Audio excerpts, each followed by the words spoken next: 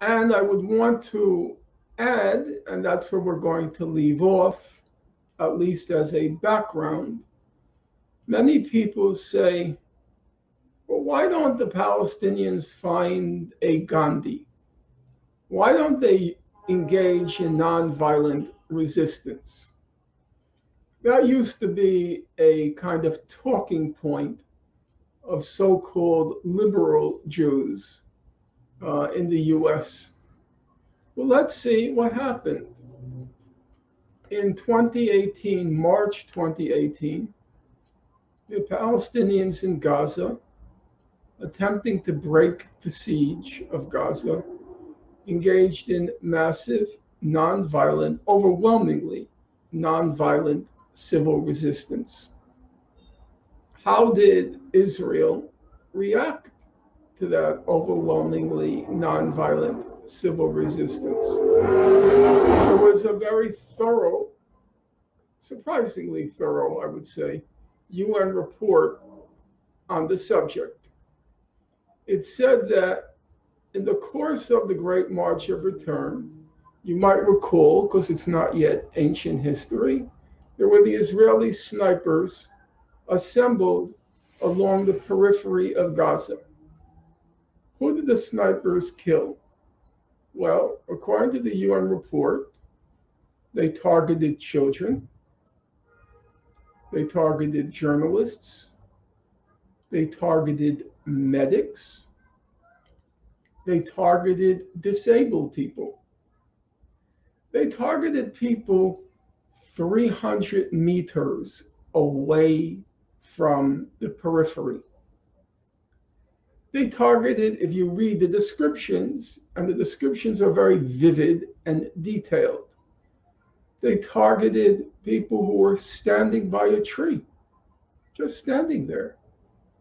They targeted photographers who were just standing there, journalists and also civilian photographers.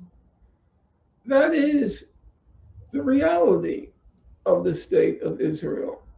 It's very hard for, say, my generation to assimilate that reality because our view, I mean, my generation and before my generation, one and two generations before, our conception of a Jew was, if you were to say, the kind of prototype. It would be an Albert Einstein kind of unworldly, the hair flying out. It used to be said of Einstein that at Princeton, he was the Institute for Advanced Studies.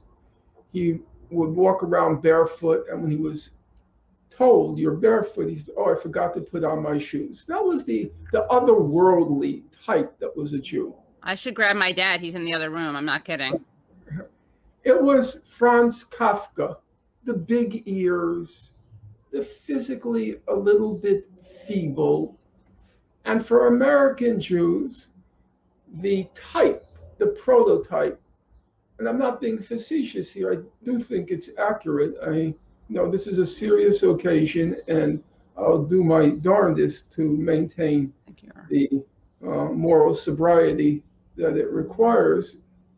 Um, it's Woody Allen, you know, the horn rimmed glasses. Ashkenazic.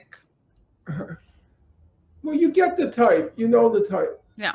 And then it was just very hard to convince Jews of my generation that a Jew could do this sort of stuff. You know, line up along a perimeter with Gaza, this world's largest concentration camp, this world's largest open air prison.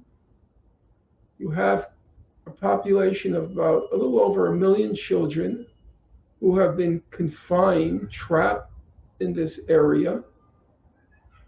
The length of a marathon, the width of half of Brooklyn, the width, not the population, the width of half of Brooklyn. And they're not going to let them out. And if they try nonviolently, peacefully to free themselves, you're going to get mowed down. Mowed down. Uh, that's the reality of Israel.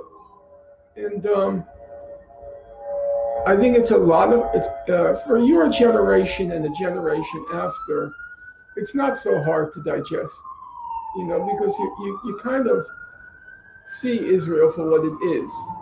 But my generation, the preceding ones, we didn't see what Israel for what it is. We saw Israel for what Jews were. And a Jew just didn't do those things.